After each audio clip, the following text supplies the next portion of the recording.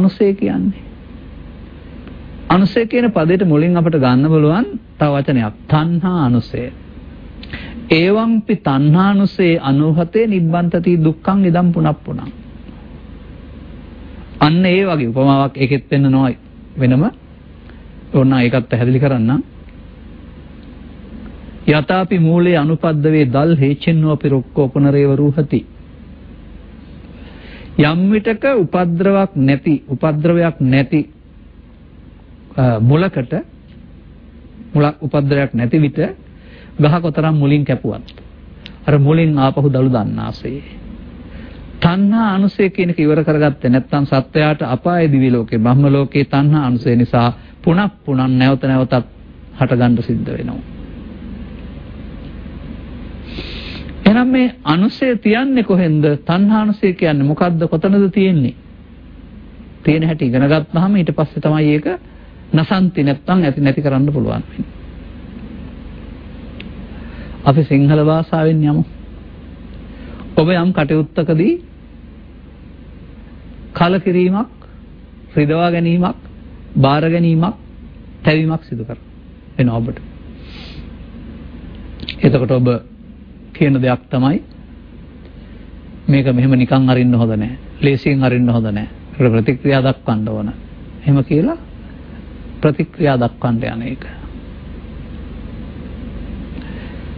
මේ ප්‍රතික්‍රියා දක්වන්නට යන්නේ අපේ හිත ඇතුළට ගන්න හේතුවක් ඉතුරු වුණාම. අපි දැනගෙන කරන්නේ නැති වුණාට මේ හිතුරු ඉතුරු වෙනවා. දේශපාලන පොරපිටියේ පරාජයටපත් වුණු පුද්ගලයා ජයග්‍රහී පුද්ගලයාගෙන් තාඩන පීඩනට ලක් වෙනවා. ඔහුගේ ඔහුට බලයක් නැති නිසා ඔහුට පොලිසියට ගියාට ඒ මොහොතේ මොකොත් කරන්න විදිහක් නැහැ. පොලිසිය බලයට වඩා දේශපාලන බලය බලවත් වෙනවා, පිළිගන්න වෙනවා. එනිසා ඔහු නිහඬ වෙනවා. හැබැයි නිහඬ වෙන්නේ මටත් වෙලාවක් ආවයිකෝ කියලා හිතාන. අපේ රටේ පෙරලි රණුව ගත් කල අවුරුදු 5කින් 7කින් නැත්නම් 12කින් 15කින් උඩු ඇටකුරු වෙනවා. එදාට පෙරදුන පුද්ගලයා දිනුන් දිනු පුද්ගලයා පරාදයි. දැන් අර වෙලාවක් ආවා වයිකෝ හිතේ කියලා තිබුණ එක ආවා ක්‍රියාත්මක වුණා.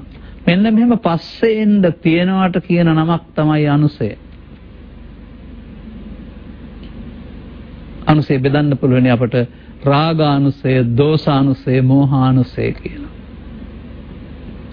අනුසය බෙදන්න පුළුවන් අපට රූප තණ්හා අනුසය, ශබ්ද තණ්හා අනුසය, ගන්ධ තණ්හා අනුසය, රස තණ්හා අනුසය, පොට්ටබ්බ තණ්හා අනුසය, ධම්ම තණ්හා අනුසය කියලා.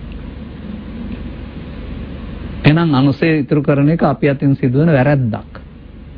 ඒකට තමයි බුදුරජාණන් වහන්සේ පමාව කියලා කිව්වේ.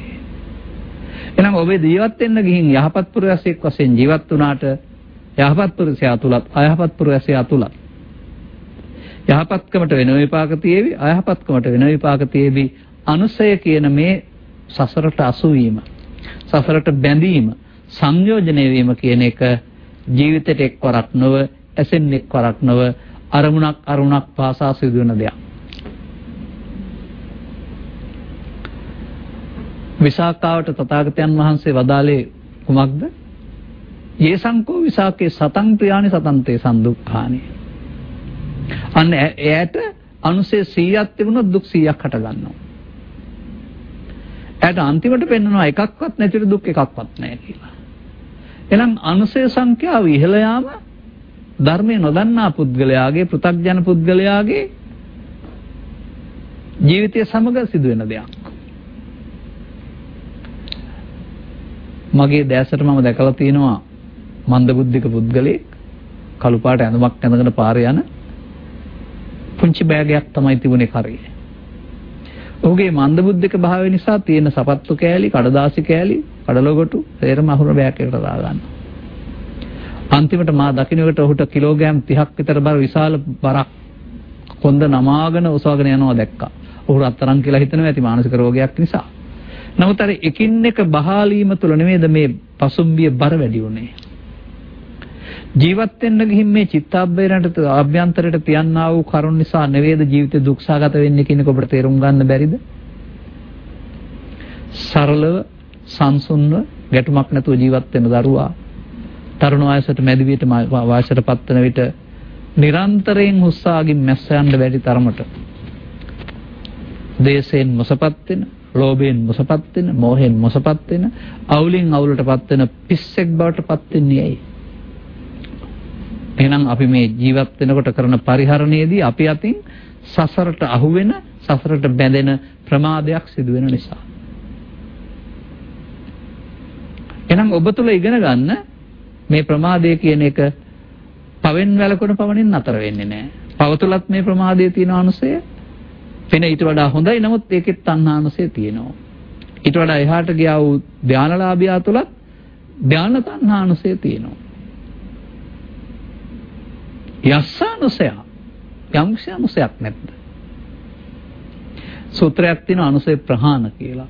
එහෙනම් අනුසය නොතබා අවසන් කිරීමට අනුසය ප්‍රහාණ කියනවා. අන මේ ත්‍රිපිටකගත ධර්මදේශනාවල මිනිස් මිනිස්සෙකුගේ මේ අනුසය සිදුවෙන ආකාරය මනවින් පෙන්වලා තිබෙනවා. පෙන්වලා තිබෙන්නේ ඔබ පුද්ගලයෙක් වශයෙන් විවරණය කරලා නෙවෙයි. ඔබ තුල සිදුවෙනා වූ සියුම් ක්‍රියාවක් විවරණය කරමින්. ඇත්තද බලන්න? ඔබ ඇසයි කනයි නාසයයි දිවයි කය කියන දොරවල් හයකින් යුක්තයි නේද? ඔබ කරන්නේ ජීවත් වෙනවා කියලා මේ හයෙන් එකක් අරමුණක් කරගෙන අරමුණත් එක්කලා කටයුතු කිරීම නේද? මේකට කොතරම් නාමකරණ හේවත් නම් තිබ්බත් කනවා, බොනවා, යනවා, එදෙනවා, නිදනවා, පව් කරනවා, පින් කරනවා කියලා. ඔය ඔක්කොම සබ්බ සූත්‍රයට යට. සබ්බ සූත්‍රේ මොකද්ද පෙන්ලා තියෙන්නේ? අපි කරන සියල්ල උන්වහන්සේ දේශනා කරනවා. සබ්බං වෝ භික්කවේ දේසිස්සාමි. මානේ මම ඔබට සියල්ල දේශනා කරන්නයි යන්නේ. S2යි කටයි අරගෙන බලන් ඉන්න එපා බුදුරජාණන් වහන්සේ ලෝකේ තියෙන සියල්ල දේශනා කරනවා හෝ ලෝකේ තියෙන සියල්ල දැනගත්තයි කියලා. ත්‍රිපිටකයේ තියෙන සියල්ල හොයාගන්න. කතමංච වික්‍රේ සම්මා. මහන්නේ සියල්ල මොනවද? චක්කුංච රූපේච සෝතංච සද්දෝච ගානංච ගන්ධෝච යුහාච රසෝච කායච පොට්ටබ්බෝච මනෝච ධම්මෝච සිංහලෙන් ඇසත් රූපයත් කනත් ශබ්දයත් නාසයත් ගන්ධයත් දිවත් රසත් කායත් පහසත් සිතත් අරමුණුත් යන මේවා සියල්ලයි කියනු ලැබී. ඔබේ පසුම්බිය තුළ මේවා තියෙනව නේද? අහිනම් ඔබ ගැන මේ කතා කරන්නේ. දැන් කොහොමද මේ පහ පාවිච්චි කරන්න ගියාම අනුසය ඉතුරු වෙන්නේ? කෙලින්ම අපි මේ ධර්මයට යන්න ලැබී තියෙන කාලයට අනුව අනන්ත වාරයක් ධර්ම දේශනා කරමින් හොඳ නරක පිළිබඳව පින්පව් පිළිබඳව තවත් ධර්ම කරුණු අපට ඔබට පැහැදිලි කරලා තිබෙනවා. ඒ දැනුම මත පිහිටා මේකට සවන් දෙන්න. එහෙනම් බලමු අපි මේ චිත්ත අභ්‍යන්තරයට බැසගන්නේ කොහෙන්ද කියලා. තථාගතයන් වහන්සේ වදාරන්නේ අපට දොරවල් පහක් තිබුණාට සිතත් එක්ක හයක් දොරවල් හයටම පිහිටන්නේ සිත කියලා.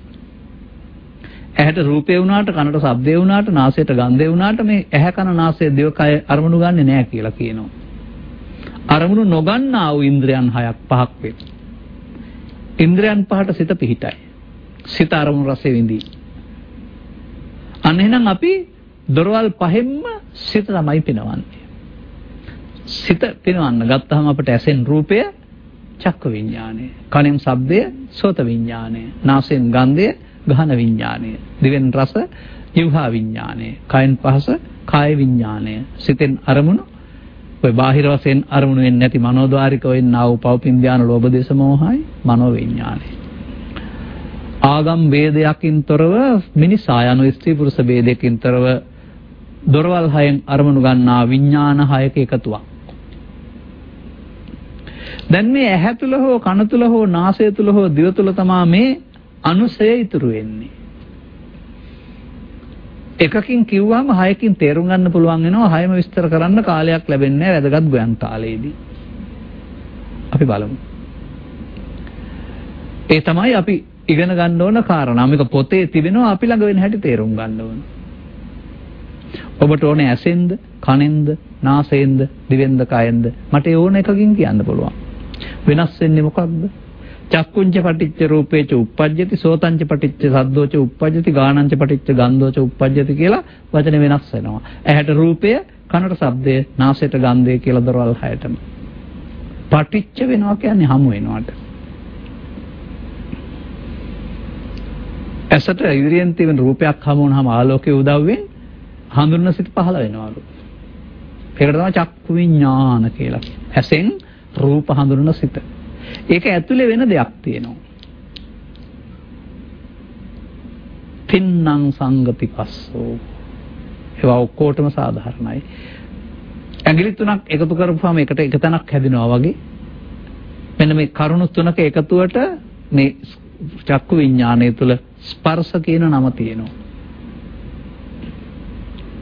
දැන් එහෙනම් මොකද්ද දැන් මේ හමු වෙන්නේ? රූපයක්.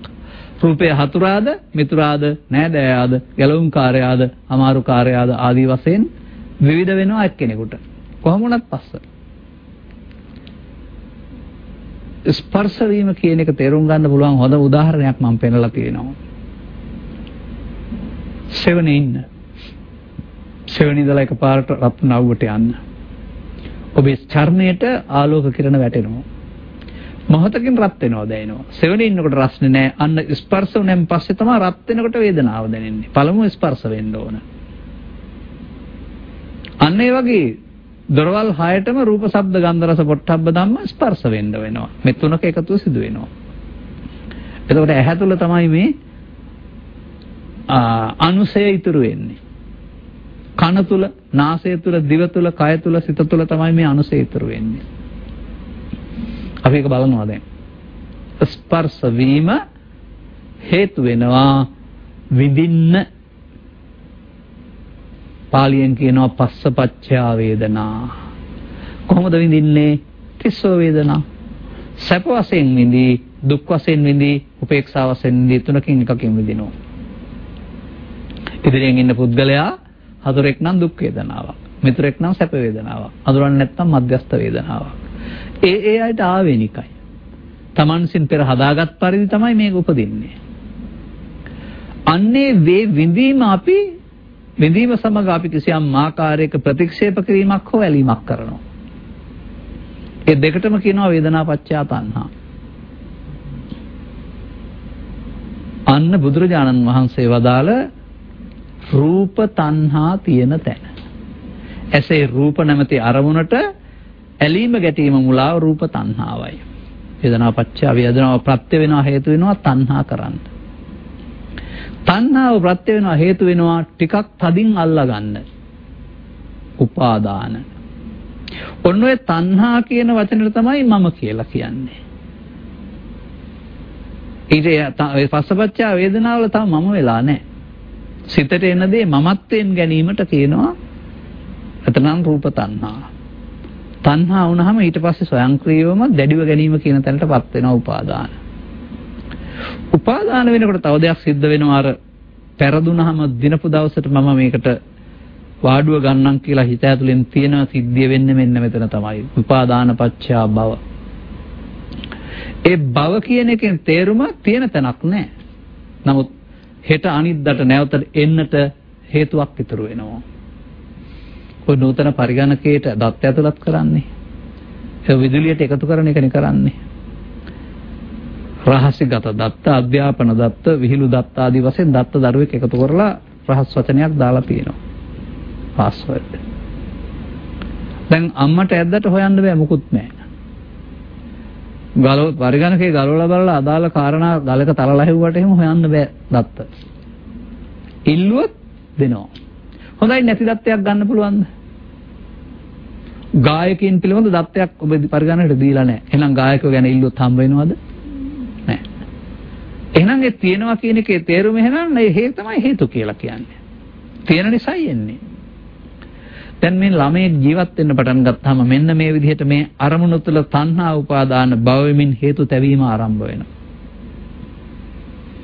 නැවත තැබුවොත් නැවත තැබුවොත් මේ අනුසේ බලවත් වෙනවා. එහෙනම් තරහ ගන්න ගන්න ගන්න තරහව බලවත් වෙනවා. වෛර කරන්න කරන්න වෛරය බලවත් වෙනවා. ලෝභ කරන්න කරන්න ලෝභය බලවත් වෙනවා. නැවත නැවත කිරීමෙන් බලවත් වෙනවා. දැන් මේ තියපු ඒවා හෙට අනිද්දාට ඉන් අනිද්දාට ගැටෙනකොට අදාළ පුද්ගලයා එනකොට පේනකොටත් මට නායට අඳුකල වගේ අර අප්‍රසන්න ස්වභාවයේ ගන්ධය ඇඟිලි වැටීම පිළිකුල ඒවා උපදිනවා. ඉපදුනේ නැවත තැබූ තැබූ නිසා නේද? මෙන්න මේ යලි ගැටෙන විට සිතට එන්නට තබා තිබෙන හේතු තමයි මේ අනුසය කියලා කියන්නේ. ඒක මෙලොව වශයෙන් ගත්තාම මතක් වෙන එකේ වේදනාව ප්‍රවෘත්ති විපාක ජීවිතය අවසන් වෙනකොට ශරීරය අතහැරුණාට මේක තියෙන්නේ මොලේ නෙවෙයි. මොලේ තියෙනවා නම් මොලේ ගෙනියන්න නැති නිසා මැරෙනකොට අමතක වෙන්න එපයි ඔක්කොම. මොලේ උදව්වක් වෙනවා විද්‍යුතේ වගේ ශක්තිය වගේ. නමුත් මේක සිතේ අවකාශ කිරීමට කියන්නේ අවිජ්ජාපත්‍ය සංකාරා. මේ මොලේත් නෙවෙයි මේක ඇතුළත තියෙන නිසා තමයි ඉපදුන දරුවෙකුට සමහර අයට පුඩා කාලේදී අතීත ජීවිතේ මතක් වෙලා කියන්නේ. ඒක මොලේ කියන වචනේ පාවිච්චි කරන මාංශයට ගන්න නැතුව ඊට එහාට ගන්න වෙනවා චිත්තාභ්‍යන්තරයේ ඉතුරු වීම කියන එකට. එහෙනම් මෙලොව වශයෙන් උපදින එක ප්‍රවෘත්ති විපාක, පරලොව වශයෙන් ගත් කල ප්‍රතිසන්දි විපාක. දැන් අපි කියමුකෝ සතුන් මැරීම, හොරකම් කිරීම, අත්පැන් පානය ආදී කාරණා වලින් එකතු කරන්නේ දේශ, ලෝභ, දේශ, අනුසය. එහෙනම් අනුසය තියෙන තමා තියෙන නිසා තමා කෙනෙකුට ජීවිතයෙන් එහා පැත්තට මරණයටපත් වුණාට ඉවර නැත්තේ. අර ගොයම් ගහ මිය ගියාට වීයට ඉතුරු නම් ඒකෙන් ඊළඟ කන්නේ පැලවෙනවා වගේ ශරීරය අතහැරියට ශරීරය තුලින් රැස් කරගත්තා වූ කර්ම බීජ තියෙනවා. බීජ කියන වචනේ පාවිච්චි කරලාට අතින් අල්ලන්න බෑ. නමුත් ඒක තමයි ඒක තමයි අනුසය කියලා කියන්නේ.